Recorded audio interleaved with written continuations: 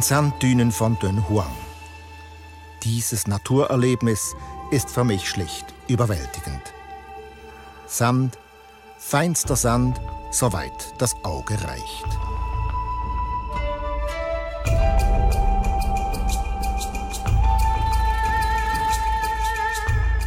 In unseren bisherigen Folgen sind wir von Venedig über Istanbul, quer durch die Türkei, durch den Kaukasus nach Zentralasien und von Kirgistan nach China gereist.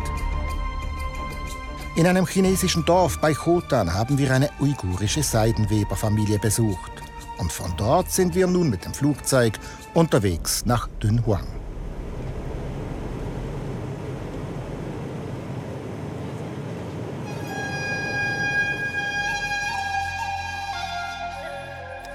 Irgendwo hier am Rand dieser Wüste muss sie zu sehen sein. Die Mogao-Oase mit den weltberühmten Mogao-Grotten. In diesen Sandsteinfelsen haben Mönche zwischen dem 4. und 12. Jahrhundert etwa 1000 Kavernen geschlagen. Diese Grotten gehören zu den wichtigsten buddhistischen Kulturstätten der Welt. Sie sind Zeugen des Austauschs der Religionen, denn der Buddhismus hat sich seinerzeit von Indien aus über die Seidenstraße nach China verbreitet. Dies ist Zhang Jia-Huang. Er ist ein bekannter chinesischer Kunstmaler und Sohn des verstorbenen Mogao-Grottenkonservators. Die Grabstätte seines Vaters liegt direkt gegenüber dem Eingang der berühmten Höhlen. Jia Huang verehrt seinen Vater. Von ihm hat er auch einen ganz speziellen Auftrag erhalten. Jia Huang soll in der Nähe von Mogao die familieneigene Grotte weiter ausbauen. In China gehört es zur Tradition, dass Kinder die Wünsche der Eltern respektieren und ihre eigenen Lebensziele hinter diese Wünsche zurückstellen. Jia Huangs Privatgrotte liegt etwa 60 Kilometer südlich von Mogao. Jia Huang hat sein Höhlenlabyrinth vor 15 Jahren eröffnet. Durch einen langfristigen Pachtvertrag sollte es für die nächsten Jahrzehnte vor staatlichen Eingriffen geschützt sein.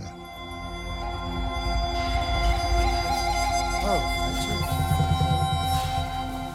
Huang führt mich in einen Raum mit Kopien von Malereien, mit Wandbildern, die einst die berühmte Mogao-Grotte schmückten und im letzten Jahrhundert von Forschern in westliche Museen verschleppt worden sind. Hier wird Buddha als großer Lehrer dargestellt.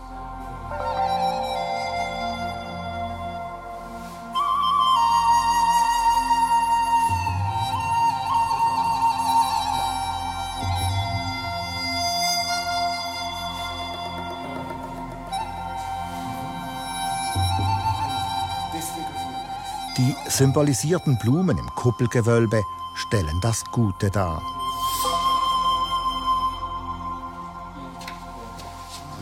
In diesem ersten Raum hat Cha Huang versucht, den Auftrag seines verstorbenen Vaters zu erfüllen. Geraubte Mogao-Kunst soll so wenigstens in Kopieform hier in seiner Grotte wieder aufleben.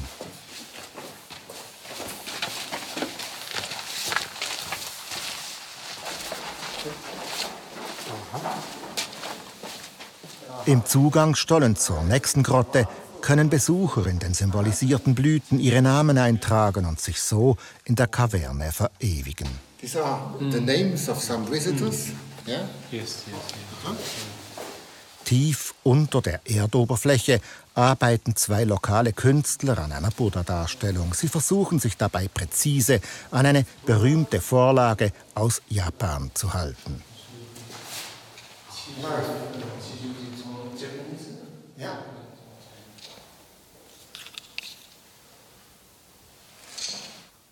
Dunhuang ist wegen der Wüste eine Hölle für die Menschen, aber ein Paradies für Künstler, sagt mir Cha Huang. Und so umfasse die Idee seiner Familie nicht nur den Blick in die Vergangenheit, sondern auch auf die Gegenwart und in die Zukunft. In Dunhuang ist die Kunst vor 600 Jahren stehen geblieben. Die Vision meiner Eltern war, hier in dieser neuen Grotte nicht nur alte, verlorene Meisterwerke zu rekonstruieren, sondern auch Platz für zeitgenössische Künstler und neue Kunst zu schaffen. Cha Huang will seine Privatgrotte auch Künstlern aus aller Welt als Experimentierfeld öffnen. Eine Sensation im zentristisch gesteuerten chinesischen Kulturbetrieb.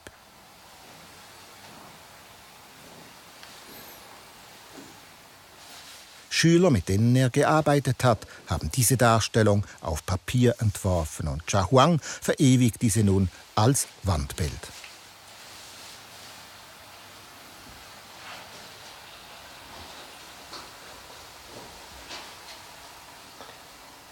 Überraschend für einen Chinesen hat sich Jia Huang jetzt vom Versprechen an seine Eltern emanzipiert. Er will seine Grotte nicht mehr nur als Familienerbe weiterführen. Ich habe schon 15 Jahre für die Grotte gearbeitet und somit mein Versprechen für meinen Vater erfüllt. Ich habe das Feuer entfacht, doch nun soll dieses Familienprojekt an ein Team von jungen Leuten abgegeben werden, internationale Künstler, damit ich selbst wieder meine eigenen Bilder malen kann.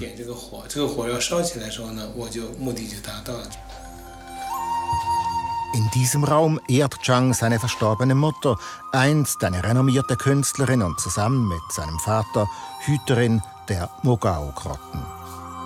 Den letzten Entwurf von ihr, die fliegenden Buddhas, hat Cha Huang draußen im Flussbett an die Felswand gemalt. Und ja, auch die Mutter habe ihm ein spezielles Motto mit auf den Weg gegeben. Gib nie auf, mach immer weiter. Denn Kunst ist Leben und Leben ist Kunst, auch im Alltag.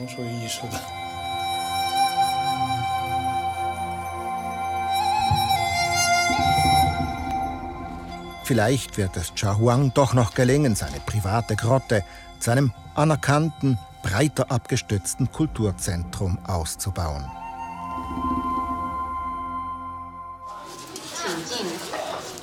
Einst reisten die Händler der Seidenstraße in die Wüstenstadt. Heute überrennen die Touristen Dunhuang.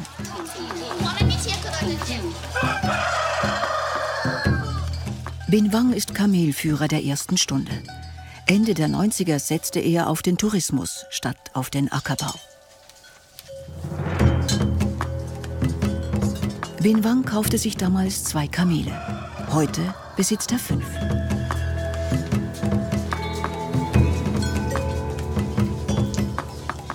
Jeden Morgen bringt er sie in aller Herrgottsfrühe raus, um die Touristen in die Geheimnisse der Wüste einzuweihen.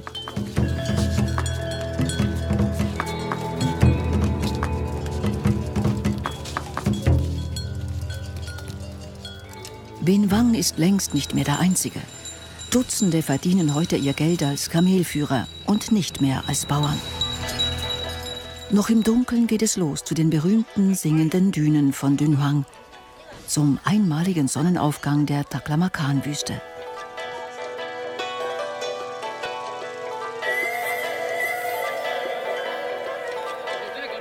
Ben Wangs Heimatstadt Dunhuang gehört zu den Top Ten von Chinas Reisezielen.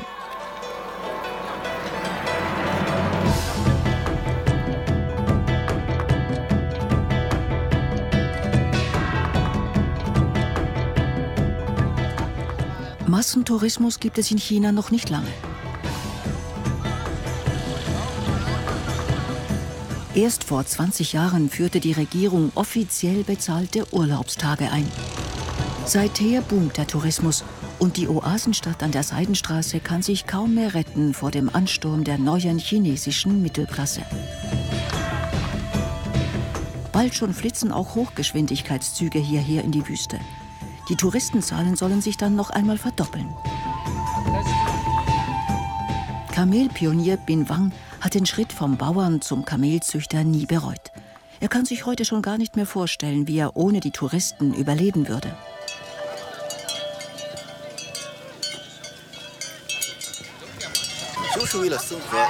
Das war überlebenswichtig, denn die Wüste frisst das Farmland auf. Nur dank der Geschäfte mit den Kamelen kann ich meine Familie heute ernähren. Die Touristen suchen hier nicht etwa die Einsamkeit. Im Gegenteil. Was zählt, ist das kollektive Erlebnis. Man will spüren, dass man nie alleine ist als Chinese. Wie fühlt sich dieses junge Paar hier inmitten von Hunderten von Touristen? China ist sehr groß. Wir haben viele verschiedene Kulturen. Wir sind hier, um Touristen aus allen Gegenden Chinas zu treffen. Wir verstehen uns untereinander sehr gut. Das Reisen trägt dazu bei, dass wir uns noch besser kennenlernen.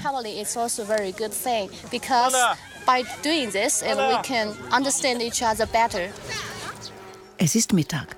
Bin Wang macht sich auf den Heimweg. Er und seine Tiere haben genug für heute. Ich bin müde.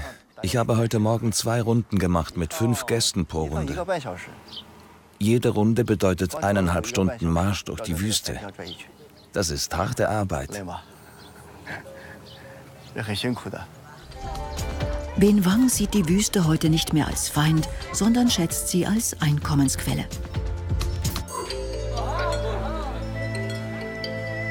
Ich begehe die Dünen von Dünhang lieber abseits vom aberwitzigen Touristenrummel und gedenke dabei der Karawanen, die einst unter schwierigsten Bedingungen in dieser Seidenstraßenregion unterwegs waren und viel zur Entwicklung unserer Geschichte, Kultur und Wirtschaft beigetragen haben.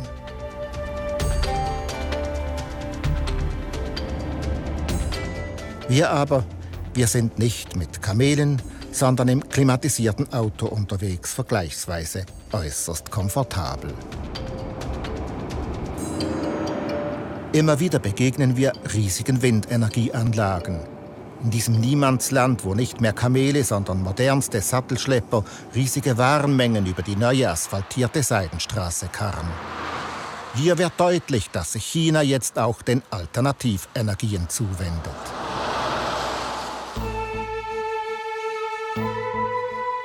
Von Dunhuang sind wir auf der Autobahn nach Chiajuguan gereist, in jene Stadt, wo einst die China-Reisenden der großen Mauer gegenüberstanden. Die Tore der Festung von Chiajuguan markierten lange Zeit den Eintritt vom Barbarenland in die Zivilisation, ins Kaiserreich hinter der Mauer, ins innere China, wie es heute noch genannt wird. Von der chinesischen Mauer sind in dieser Region an den Bergausläufern einige Teilstücke erhalten geblieben. Für mich ist es ein großes Erlebnis, diesen Mauerabschnitt hochzugehen. Die chinesische Mauer gilt als weltweit größtes Bauwerk, das jemals errichtet wurde. Und nicht nur ich, auch sie ist offensichtlich hoch vergnügt. Wu Ligun Touristin aus Peking singt spontan das Volkslied über die große Mauer.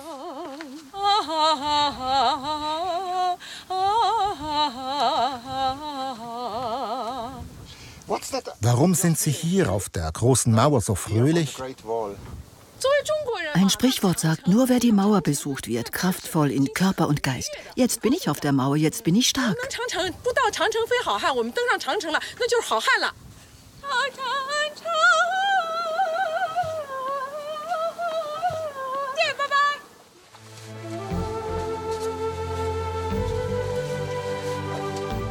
Kaum vorstellbar, was geleistet werden musste, um einst die Mauer in einer Gesamtlänge von über 9000 Kilometern zu errichten.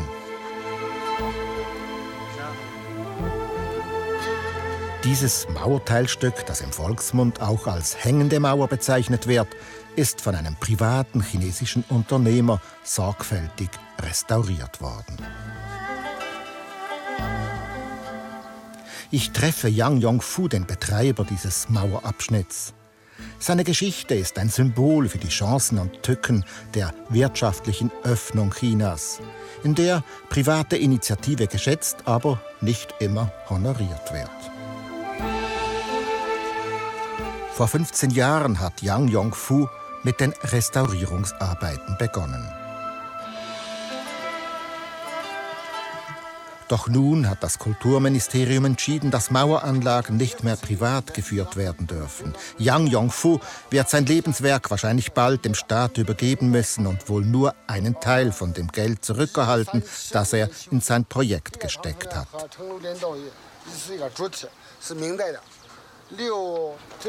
Er ist enttäuscht, gibt sich aber diplomatisch. Ich habe schon ein paar Millionen Yuan investiert. Für die Restauration und die Pflanzen und Bäume. Ich bereue nicht, dass ich das gemacht habe. Auch wenn ich große Schulden haben werde. Wenn mich jetzt jemand unterstützt, aus Volksliebe und Liebe zur Mauer, werde ich Spenden akzeptieren.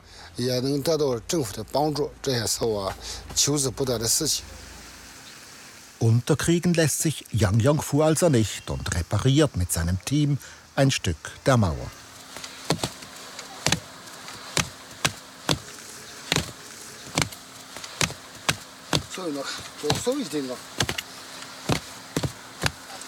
Die jetzige Situation ist sehr schwierig für Yang Yongfu und wir möchten wissen, was er in 20 Jahren wohl sagen werde, wenn er mal auf sein Lebenswerk zurückblickt.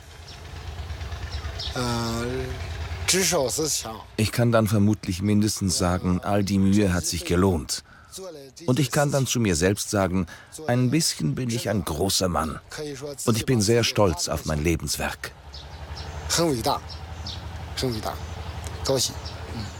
Yang Yongfu ist nicht sicher, ob er den Betrieb auf privater Basis weiterführen darf. Aber, und das ist ihm das Wichtigste, er hat als Bürger einen wichtigen Teil zum Erhalt der Mauer geleistet. Das Engagement von Yang Yongfu hat mich beeindruckt.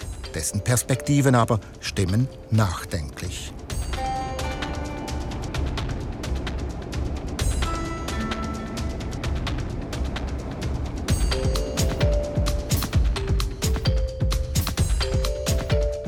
Wir fahren weiter südostwärts. Von Chiajuguan her erreichen wir die Stadt Changye.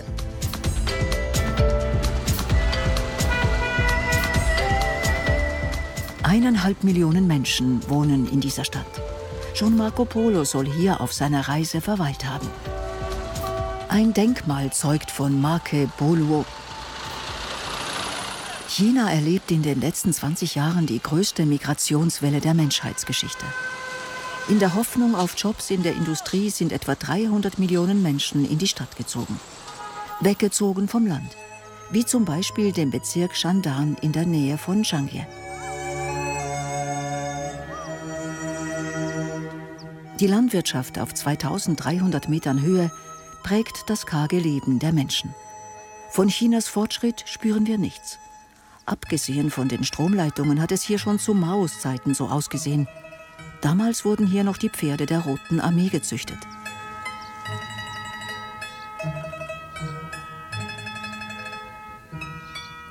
Bauer Pan Chanping ist hier geboren.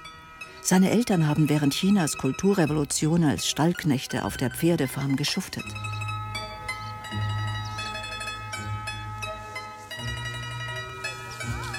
Wie jeden Morgen begrüßt Pan kurz nach Sonnenaufgang sein Pferd Hongbao. Die Nacht verbringt es jeweils in der Herde. Tagsüber sichert es Pans Zusatzeinkünfte. Hongbao, das heißt rotes Baby, ist Pans Stolz und gleichzeitig auch sein einziger Besitz. Als Angestellter der Pferdefarm bekommt er einen Raum zum Schlafen und Wohnen plus eine spärliche Küche sowie ein bescheidenes Grundeinkommen. Zum Leben reicht es jedoch nicht. Die Nudeln, die seine Frau zum Frühstück serviert, schmecken gut.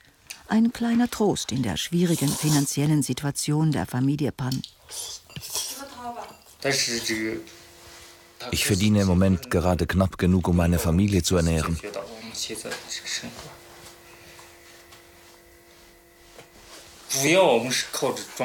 Wir sind hauptsächlich Selbstversorger. Wenn es nichts zu ernten gibt, wird es hart für uns. Dann müssen wir rausgehen und Gelegenheitsjobs suchen.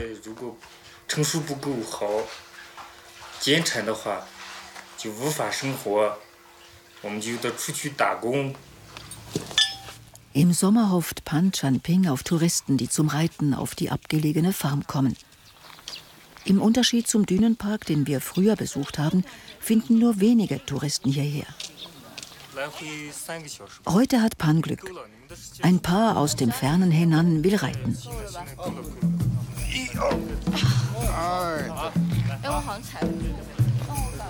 Was für den Bauern selbstverständlich ist, aber kaum zum Überleben reicht, genau das suchen hier die gut verdienenden Besucher aus Chinas fernen Millionenstädten.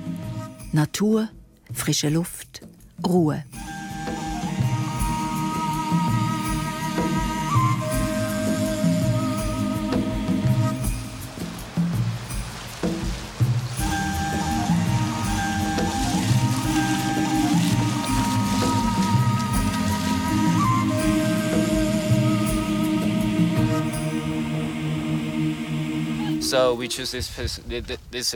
Wir haben diesen Ort ausgewählt, weil es hier so still ist und nicht so überfüllt wie an anderen Touristenorten. So können wir in Ruhe die schöne Graslandschaft genießen. Man fühlt sich hier viel freier. Uh, Für drei Stunden Freiheit bezahlen die zwei Touristen umgerechnet rund 40 Franken. Pferdeführer Pan ist zufrieden mit seinem heutigen Verdienst.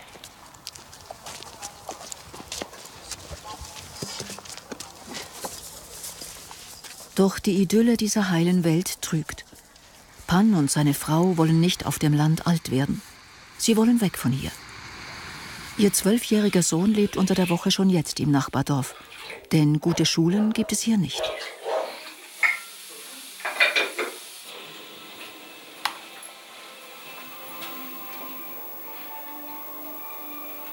Frau und Herr Pan träumen von einem modernen Leben in der Großstadt.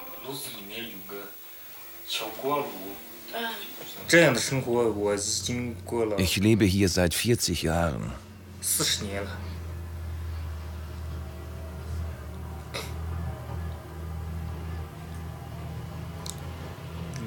Oder sind es 30?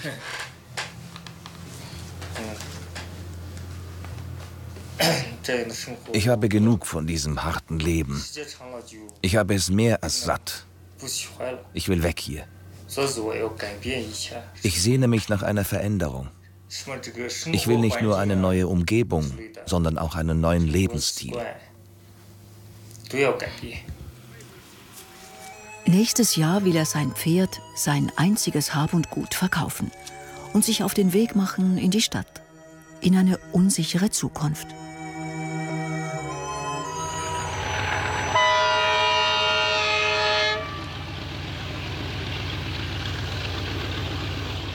Und wir, wir verlassen die Region von Shangye mit dem Zug.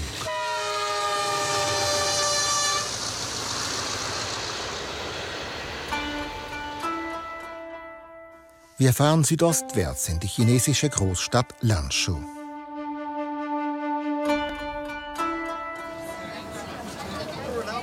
Während sieben Stunden sind wir hier in der Nacht unterwegs. Der Zug ist überfüllt unser Waggon ist so vollgestopft, dass einige Passagiere sogar gezwungen sind, stundenlang zu stehen.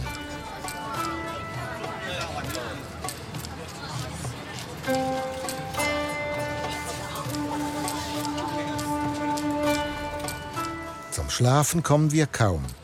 Und auch wer sich einen Sitzplatz reserviert hat, muss sich den erkämpfen und stets behaupten.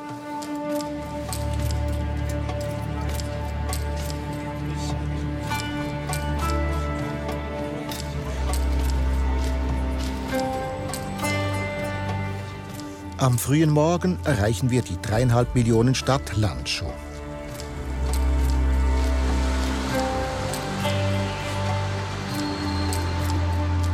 Seit über 2000 Jahren ist Lanzhou ein wichtiger Verbindungspunkt der nördlichen Seidenstraße und ein bedeutender Ort zur Überquerung des Gelben Flusses, des zweitlängsten Stroms in China.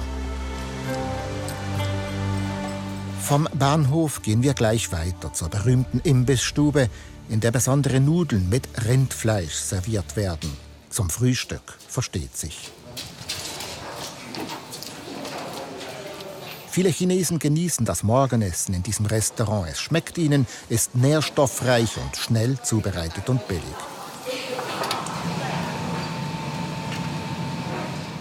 Lange handgefertigte Nudeln, wie sie schon vor 400 Jahren in der chinesischen Qing-Dynastie stets frisch zubereitet worden sind.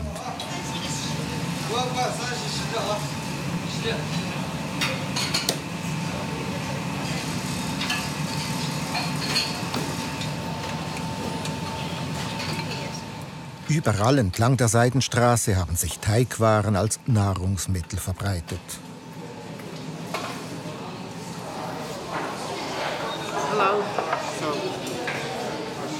Hier lerne ich am Tisch die Lehrerin Zhang Yuhong und ihre Tochter, die 16-jährige Schülerin Ma Qianru, kennen, die wir einen Vormittag lang begleiten werden. Die berühmten und scharf gewürzten Landschuh-Langnudeln genieße ich vorsichtig.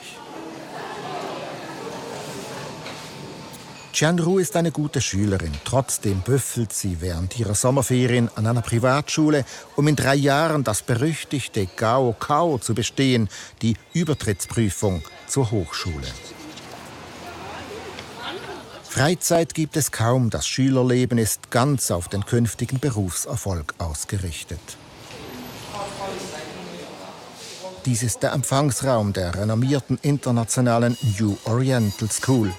Die Eltern, wenn sie es vermögen, lassen sich das intensive Lerntraining für ihre Kinder was kosten.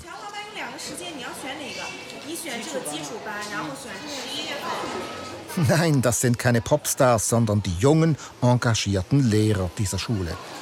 Number 18. Listen again to part of the discussion. In den Schulräumen werden wir mit einer Art Gegenwelt zu unserer westeuropäischen Wohlfühlgesellschaft konfrontiert. Die Schüler haben nur ein Ziel, auf das alle hinarbeiten, das Gao-Kao, die Matura-Prüfung zu bestehen, den Sprung an die Uni zu schaffen. China hat wohl das härteste Schulsystem der Welt. Für viele, auch für Qianru, beginnt der Schulalltag morgens um halb acht und endet abends um elf mitsamt Hausaufgaben und Nachhilfeunterricht. Okay, 30分对吧？OK，那么我们每天呢就知道三十分，然后老师告诉我们 it's very important，非常重要，对不对？我们必须 work hard，对吧？She bears a similarity. Was denn ist Qianrus Lebenstraum? Hängt wirklich alles von der Schule ab? Ich möchte andere Länder und Kulturen kennenlernen. Es gibt Dinge, die wichtiger sind als das, was man in der Schule lernt.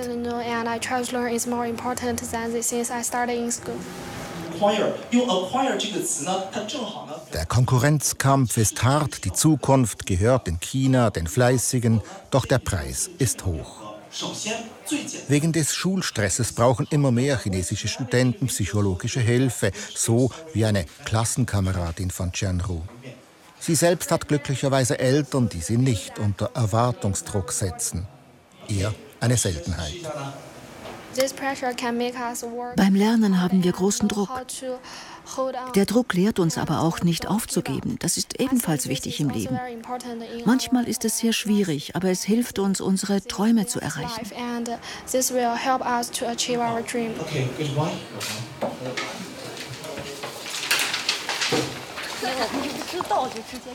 nach der Englisch-Drillstunde laden uns Jan Ru und ihre Mutter zu sich nach Hause ein. Dort ist auch die Großmutter, eine muslimische Chinesin, zu Besuch. Als Mutter versucht Yu Hong ihrer Tochter Freiräume und auch Zeit zum Entspannen zu geben. Und als Lehrerin spricht Yu Hong offen über die Mängel des chinesischen Bildungssystems. Für mich ist die Gao-Kao-Prüfung nicht das Wichtigste im Leben. Sie verursacht zu viel Stress, die Kindheit und viel Potenzial gehen verloren.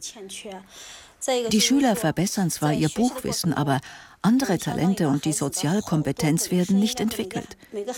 Dank dieser harten Prüfung können sie an die Uni, aber auch dort lernen sie nicht für das wirkliche Leben. Die herzliche Begegnung, aber auch die Leistungsbereitschaft von Qianru haben mich beeindruckt. Die Folgen des chinesischen Leistungswillens, das steht für mich außer Frage, werden wir im Westen noch sehr viel stärker zu spüren bekommen.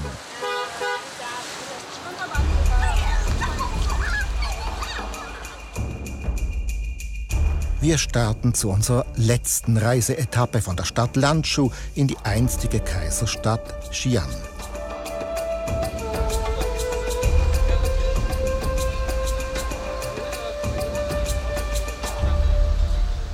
Bekannt ist Xi'an für seine mächtige Stadtmauer und für die riesigen Grünanlagen.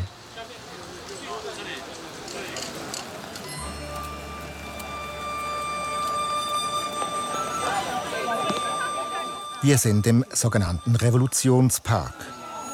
Trotz des strömenden Regens treffen wir hier auf interessante Anzeigen und auf viele ältere Menschen.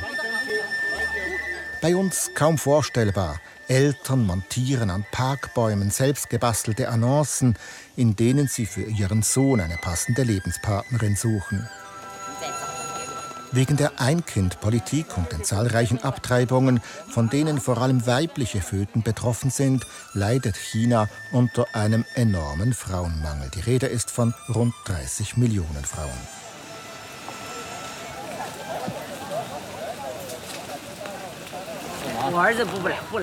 Mein schüchterner Sohn kommt nicht selbst. Aus Angst vor Gesichtsverlust.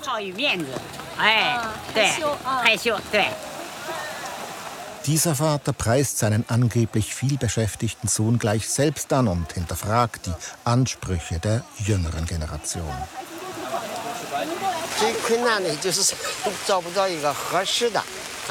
Heute verlangen die jungen Leute sehr viel.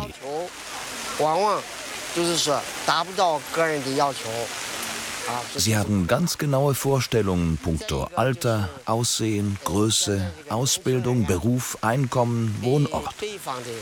Mit solch hohen Ansprüchen ist es natürlich sehr schwierig, eine wirklich passende Partnerin zu finden.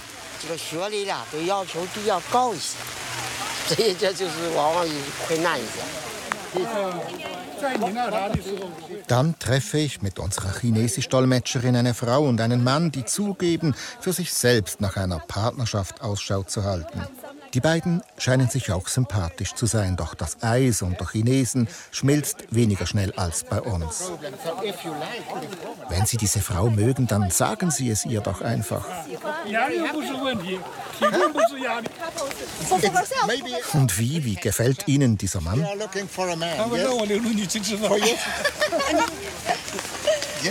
Sind Sie glücklich über dieses Treffen? Ja, er sieht sehr sympathisch aus. Wollen Sie sich nicht mal unverbindlich treffen, einfach zu einer Tasse Tee oder so?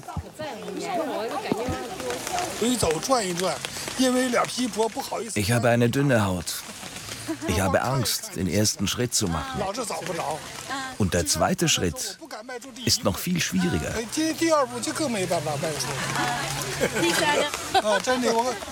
Meine etwas ungelenken Bemühungen als Partnervermittler haben nicht sofort gefruchtet, aber vielleicht springt bei den beiden an einem anderen Sonntag doch noch der Funke über. Wem der Funke richtig übergesprungen ist, der geht in eins der unzähligen für China typischen Hochzeitsfotostudios. Die jungen Chinesen sind bemüht, sich stets im allerbesten Licht zu zeigen. Li Yu und Guona werden für ihre Fotoserie zwei ganze Monatsgehälter hinblättern.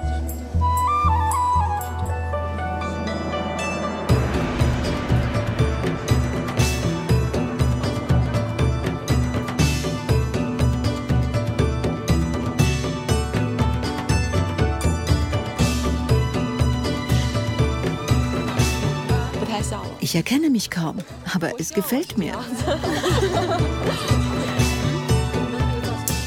Warum gibt ein junges Paar so viel Geld aus für ein Fotoshooting? Weil es ein besonderer Tag für Erinnerungen ist. In China heiratet man nur einmal im ganzen Leben. Das Sprichwort sagt, wir bekommen gemeinsam weiße Haare und ich werde immer nett sein zu meiner Frau. Vielleicht machen wir in ein paar Jahren nochmal solche Fotos.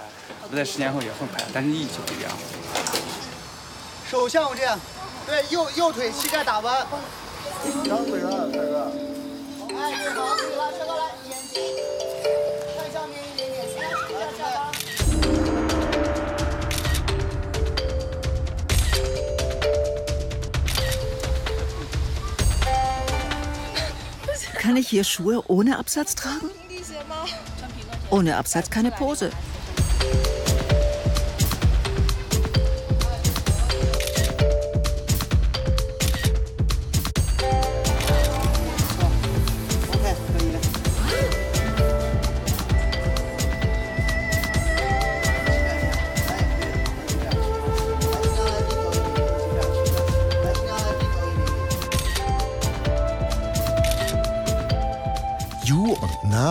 Haben sich bei der Arbeit kennengelernt.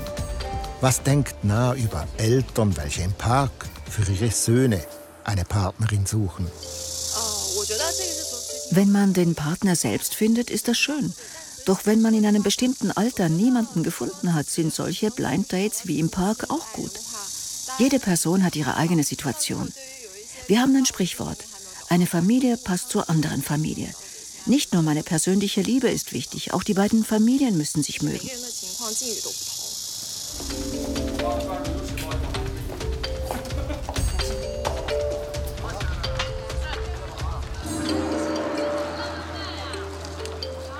Hier sind wir am Eingang zur Grabanlage des ersten chinesischen Kaisers, Qin Huangdi.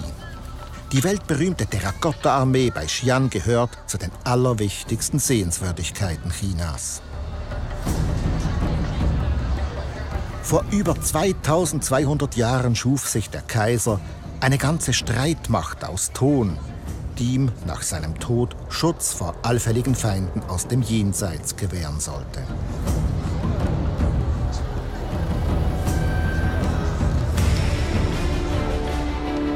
Jede einzelne Figur ist individuell gestaltet. Anblick und Anzahl sind überwältigend. 7000 Soldaten, 600 Pferde, zahlreiche Kriegswagen und bronzene Waffen.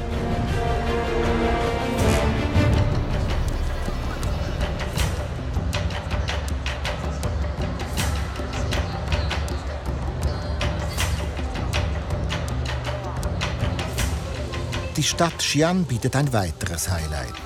Professor Dai Shengji begleitet mich zum Denkmal, das an den Begründer der Seidenstraße erinnert. An den chinesischen Kaiser Han Wudi aus dem 2. Jahrhundert vor Christus.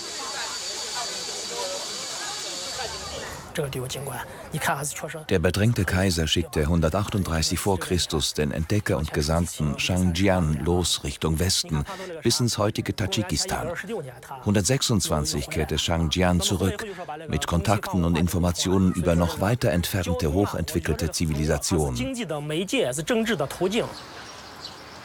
So entstanden unter dem visionären Han Wudi Handelsbeziehungen zwischen China und Zentralasien, die bis in den Nahen Osten und schließlich bis nach Rom reichten.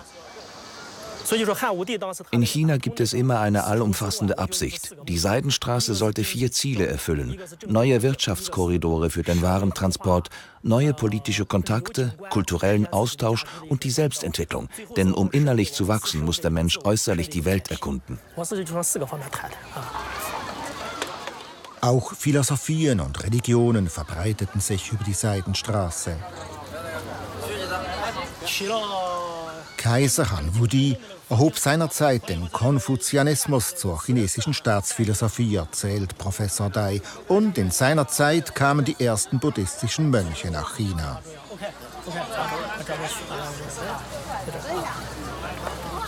Was sind die wichtigsten geistigen Errungenschaften der Seidenstraße? Die Freiheit, frei zu denken. Freiheit bedeutet ein inneres und äußeres Ziel erreichen, Hemmungen beseitigen, Barrieren öffnen. Ohne die Kommunikation mit anderen Kulturen gäbe es keinen globalen Geist, keine Gedankenfreiheit, nur Dunkelheit. Die Seidenstraße hat den Menschen den Horizont erweitert.